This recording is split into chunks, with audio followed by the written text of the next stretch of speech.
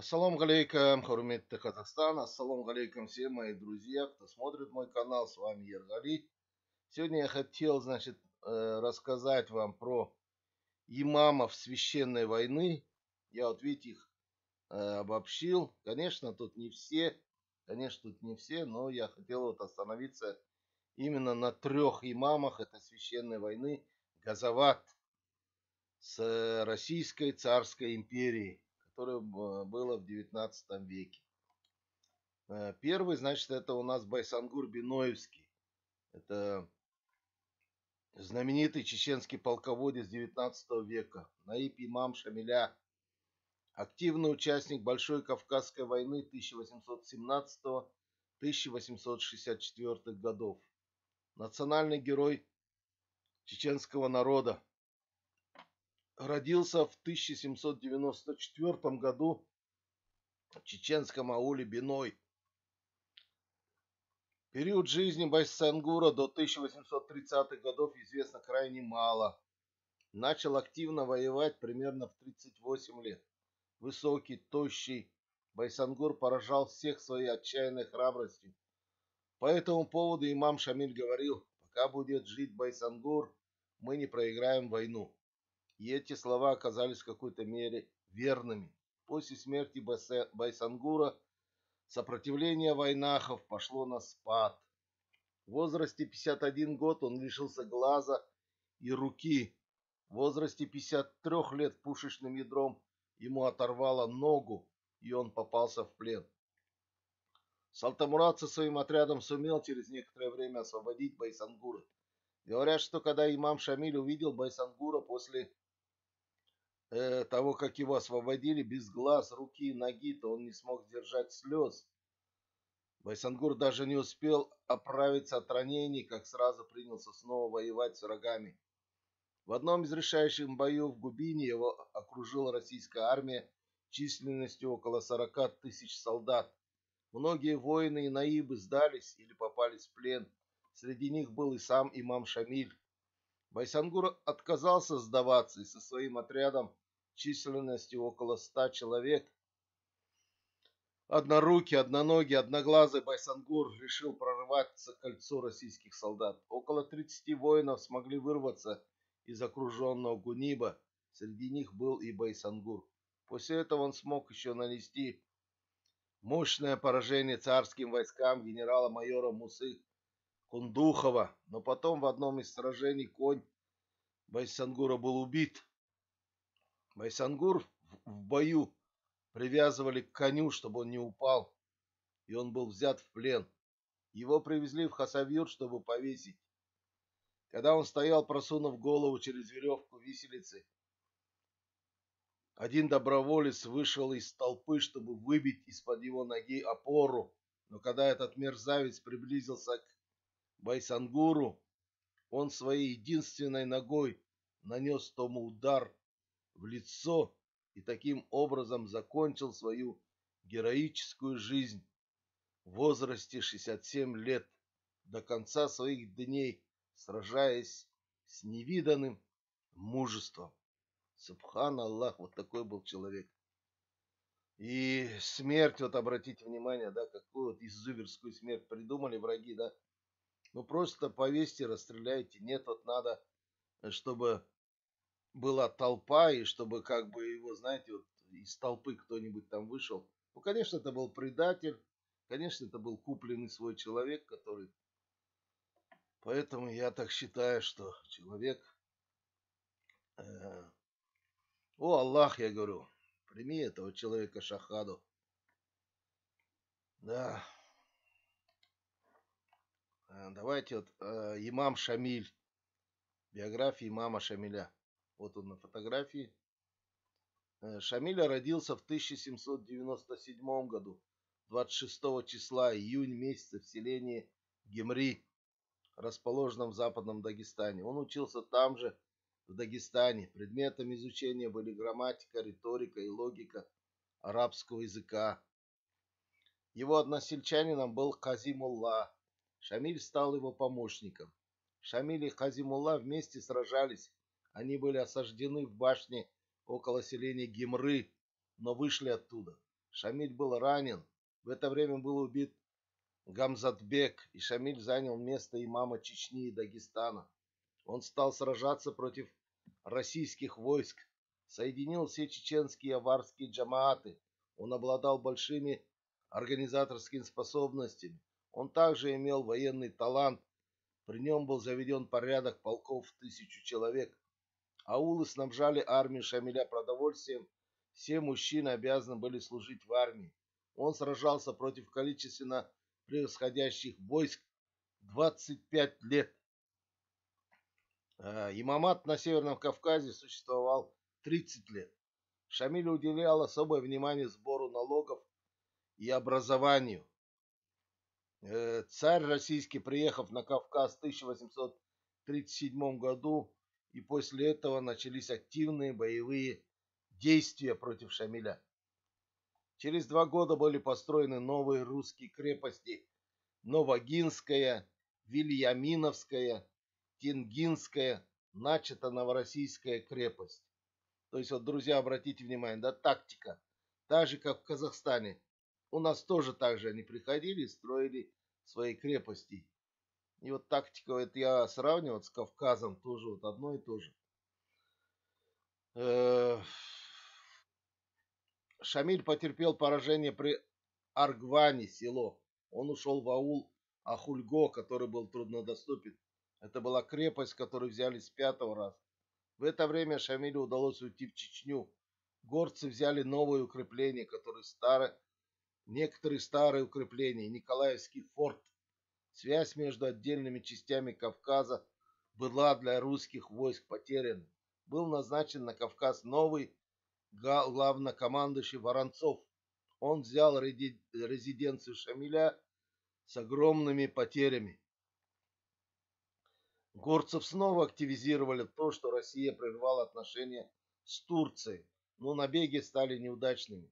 Турецкая армия вошла в Кахетию, и турки предложили Шамилю соединиться с ними, двинувшись со стороны Дагестана. Русские войска приблизились, горцы вынуждены были бежать.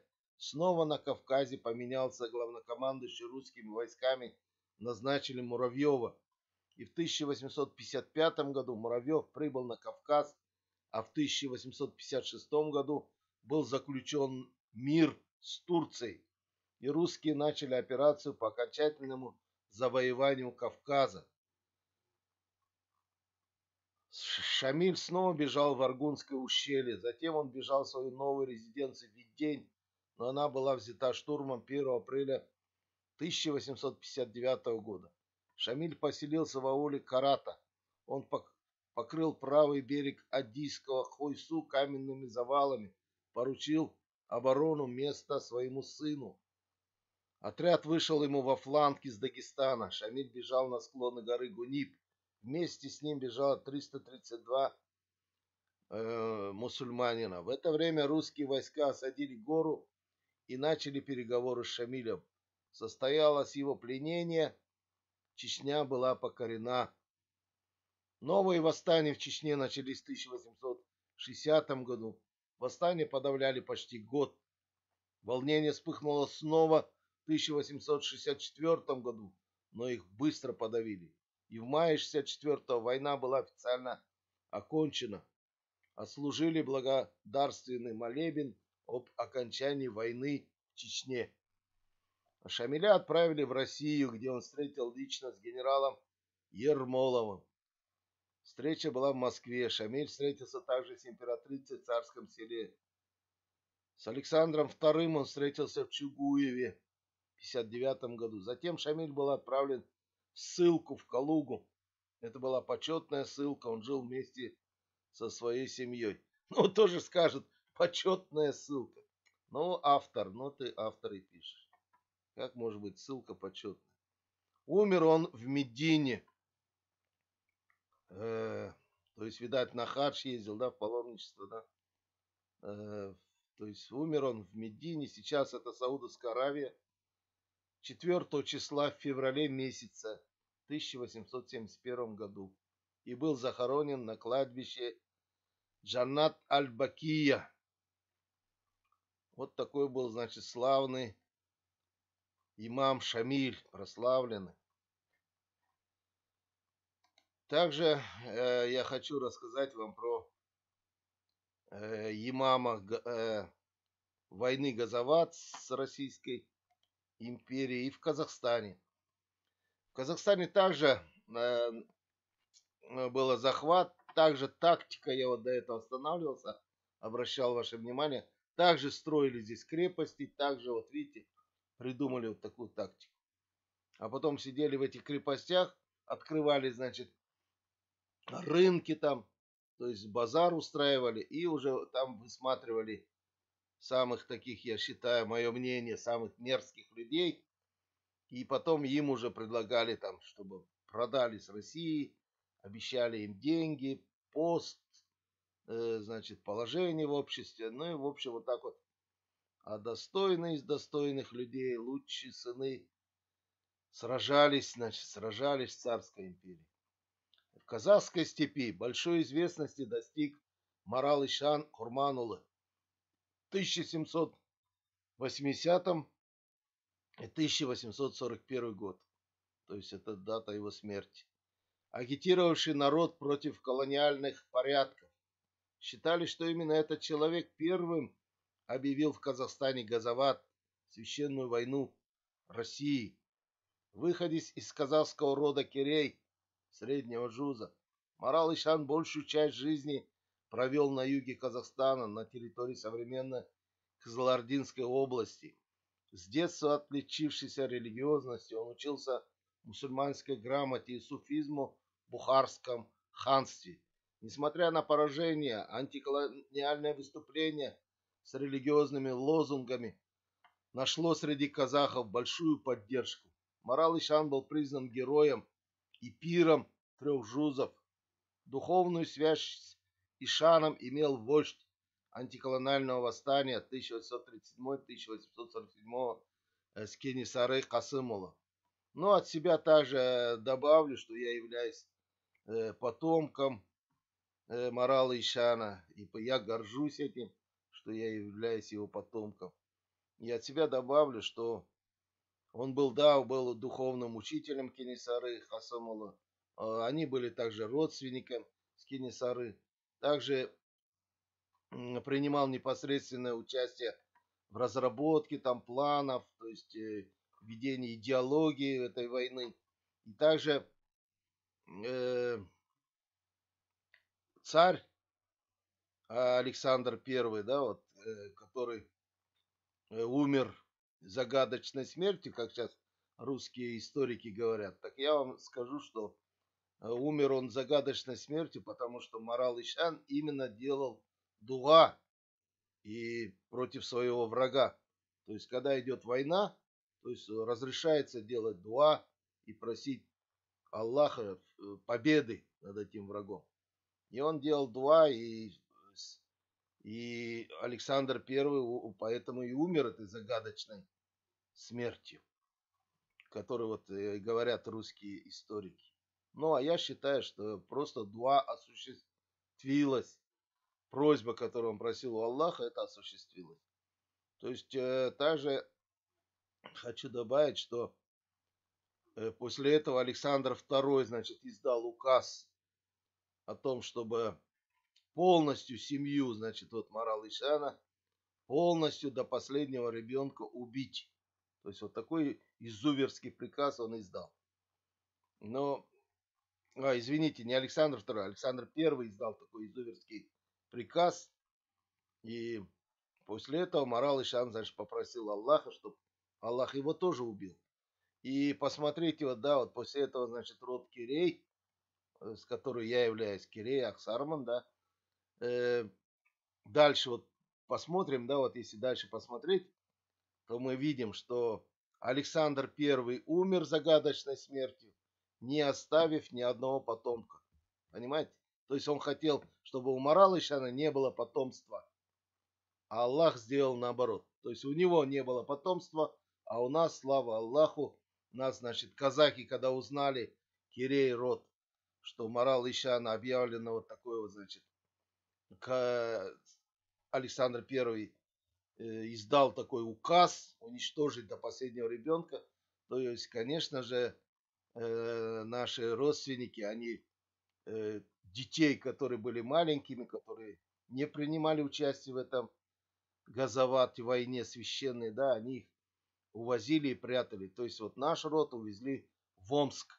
То есть поэтому мы, слава Аллаху, вот сегодня живы. То есть спрятали в аулах, не говорили, чьи это дети, чтобы не узнали российские, значит, эти офицеры.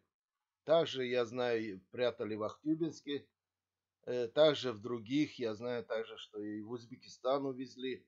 У него было 12 детей у Маралышана. И многие погибли шахидами на этой войне. И также Маралышана, значит, э, был отравлен. Отравлен он также э, российские, то есть спецслужбы, также его нашли. И так он и умер, э, и дай Аллах, я говорю, вот всем трем имамам этой священной войны Газават за свободу, за независимость э, своей родины. Дай Аллах им, э, прими ихнюю шахаду, о Аллах, дай им сады Фердауси. С вами был Ергали. Подписывайтесь на мой канал, пишите комментарии. Ну, а я, значит, в свою очередь обязуюсь рассказывать очень много таких историй. И я считаю, что в Казахстане мы не должны забывать э, таких э, имамов, которые вот сейчас я вот в интернете искал про Марал Ишан. Абсолютно нету информации. Либо информация абсолютно искаженная. То есть э, говорят, что Марал Ишан был какой-то там колдун, то еще что-то. То есть всячески его, даже сегодня его вот поливают вот такой грязью, хотят смешать с грязью. Поэтому я считаю, что вот э, как э, имам, э, Наиб имам, да, Байсангур Биноевский, как имам Шамиль, как Марал Ишан, то есть это достойные, достойные люди, мы не должны сегодня забывать таких людей. Поэтому с вами был Яргали. Салам алейкум, рахметтуллахи ва баракату.